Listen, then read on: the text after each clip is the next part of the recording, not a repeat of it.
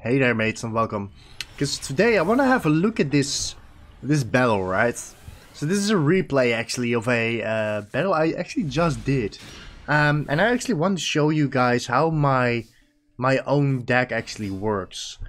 Um, this Miyazaki deck makes me go and special summon a lot of monsters.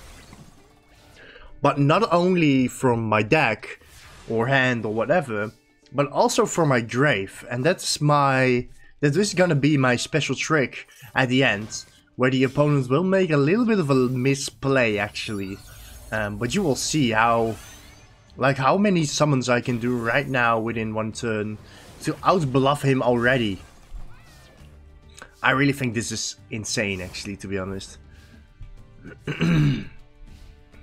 As you can see in my hand, I got Ash Blossom, which I thought actually would work um, against a monster we will see a little bit further on in the match. And it got me actually pretty scared. Alright, so this is gonna be... This is gonna be the main man. I'm Not sure, can we zoom in? Yeah.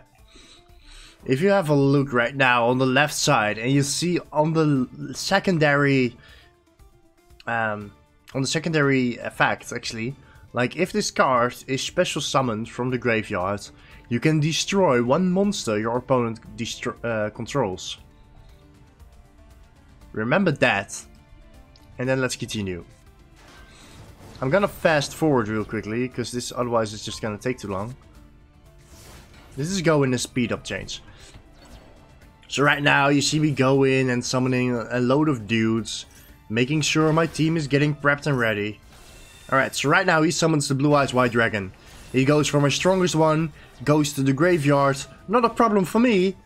I'll just banish one, re-special summon him. And here he goes. Secondary effect will be in play. Destroys the Blue Eyes White Dragon. Summons a few bit more. And this already is the final blow. This is how fast, how freaking fast a match can go. I love it.